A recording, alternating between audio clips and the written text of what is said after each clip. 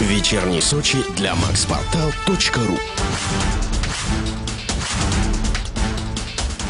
Сила женщины и слабость мужчины, скрытые желания и страхи, проявление природы и интеллекта. Необычную историю любовного треугольника представит в Сочи театр имени Станиславского. Сегодня вечером на сцене Зимнего разгорается драма предательства Нобелевского лауреата Гарольда Пинтера в нестандартной постановке Владимира Мирзоева. Спектакль «Предательство» был уже показан в Краснодаре. Там театральная публика оценила качество постановки по достоинству. Но сочинская сцена труднее, уверены актеры. Сцена непростая, мы уже посмотрели, она не совсем приспособлена для того, чтобы здесь играть спектакли. Вот. Но, тем не менее, мы попытаемся сегодня что-то здесь воспроизвести.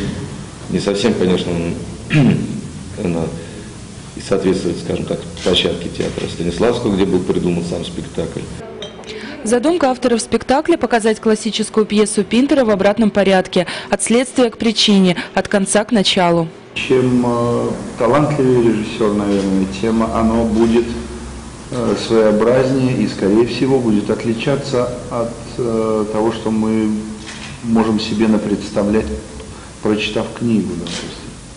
Поэтому все те инновации, как вы называете, они создают свой собственный мир, э, вот, посредством которого мы и пытаемся разговаривать со зрителем.